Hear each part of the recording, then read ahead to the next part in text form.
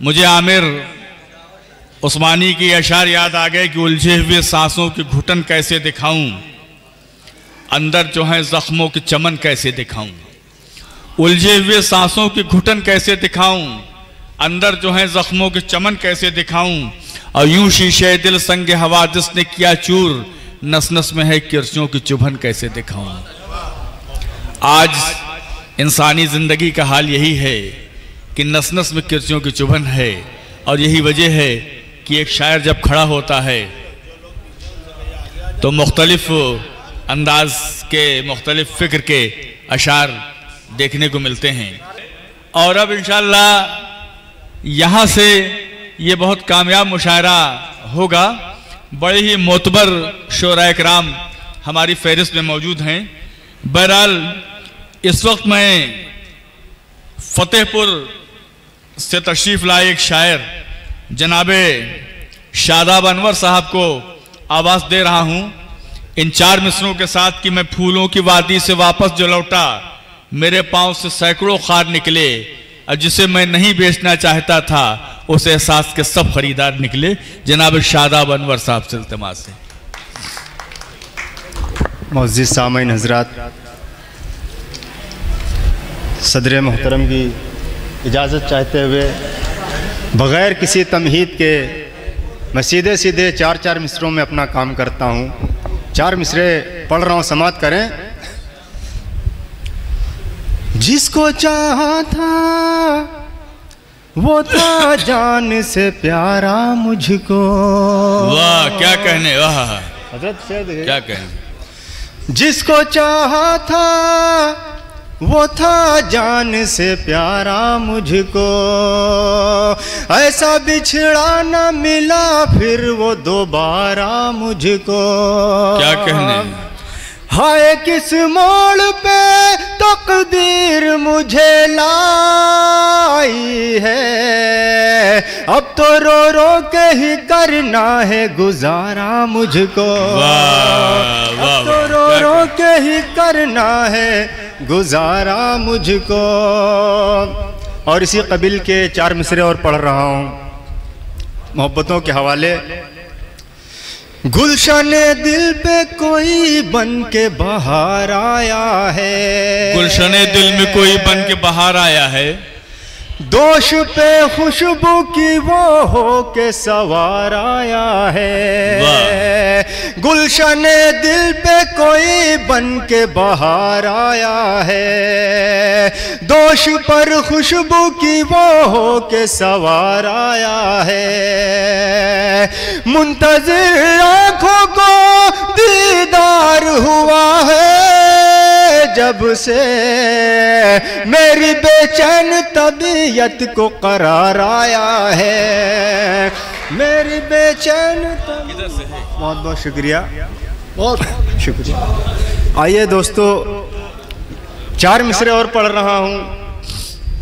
یہ چار مصرے ناظم مشاعرہ اور ہمارے بہت ہی عزیز حسن عابدی صاحب کے حوالے سے آپ تمام سامعین تک پڑھ رہا ہوں سماعت۔ ارشاد۔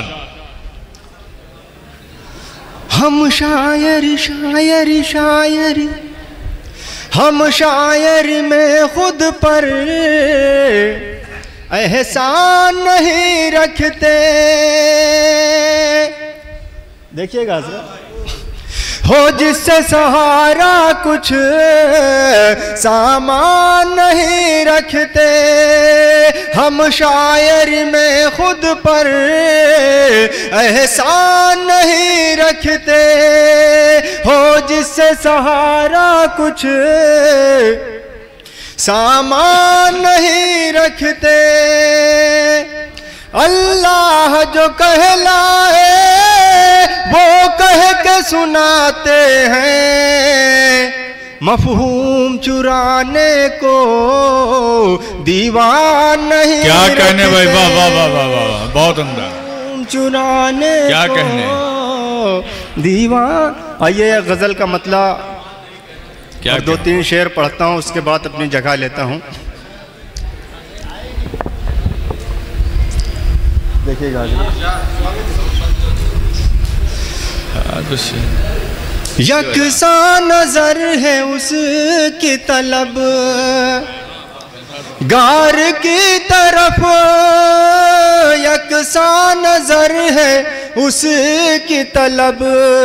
گار کی طرف پہنچا ہے جو بشاہ کے در بار کی طرف یکساں نظر ہے اس کی طلب گار کی طرف اور یہ شعر میں اپنے دوستوں کے حوالے سے پڑھتا ہوں دیکھے گا۔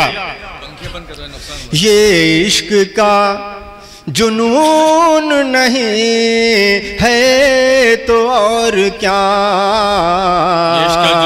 یہ عشق کا جنون نہیں ہے تو اور کیا؟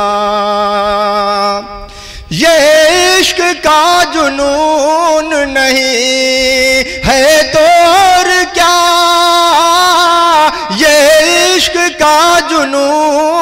نہیں ہے تو اور کیا؟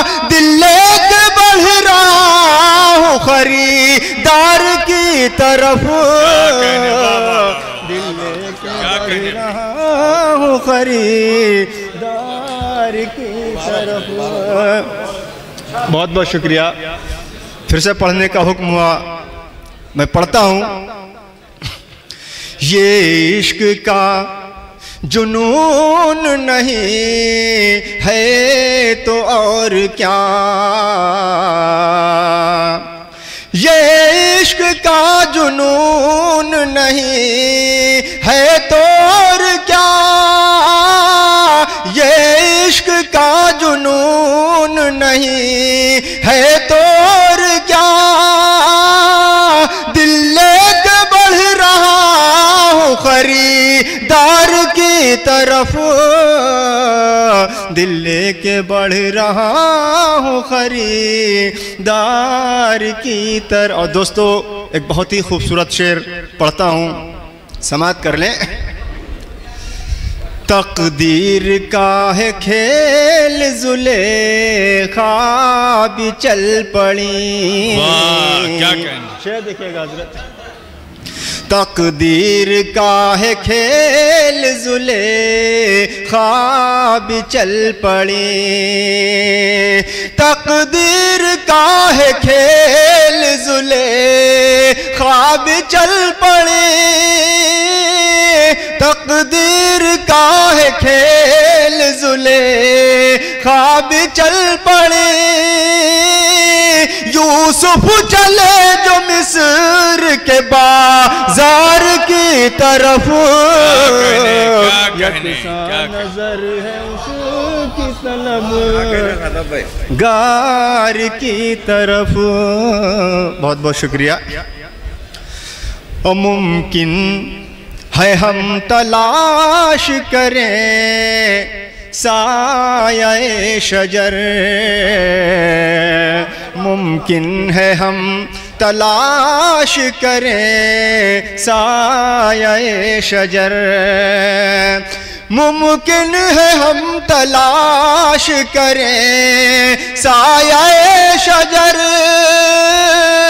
ممکن ہے ہم تلاش کریں سایہ شجر۔ جاتا ہے کون آہن دیوار کی طرف۔ یکساں نظر ہے اس کی طلب۔ آئیے دوستو یہ غزل کا مطلع اور دو تین شعر پڑھ پڑھ کے۔ ایک غزل کا مطلع اور دو تین شعر بس اس کے بعد اپنی جگہ لیتا ہوں۔ مطلع دیکھیے گا حضرت۔ جب قیامت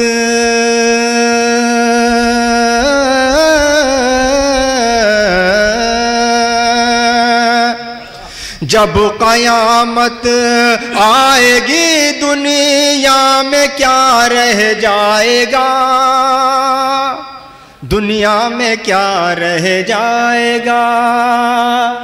جب قیامت آئے گی دنیا میں کیا رہ جائے گا؟ جب قیامت آئے گی رہ جائے گا۔ سب فنا ہاں سب فنا ارے سب فنا ہو جائیں گے۔ بس ایک خدا رہ جائے گا۔ ایک خدا رہ جائے گا۔ اور شیر دیکھیے گا۔ پڑھ رہا ہوں حضرت۔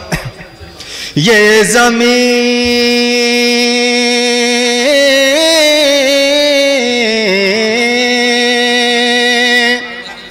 یہ زمین کیسے ٹکی ہے؟ آسماں کیسے رکا؟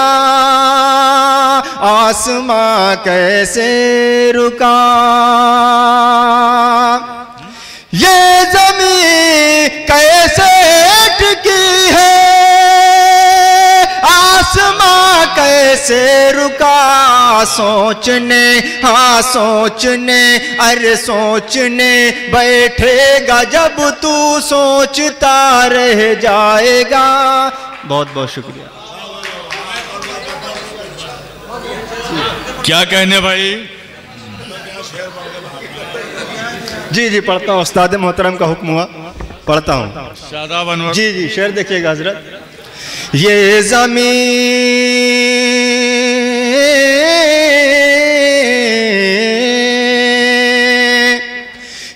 زمین زمیں کیسے ٹکی ہے؟ آسماں کیسے رکا؟ آسماں کیسے رکا؟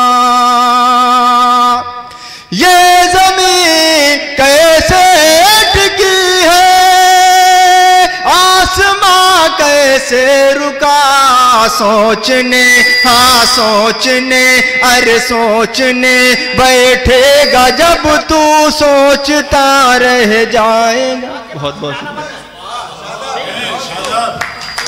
آئیے شاداب انور صاحب کے بعد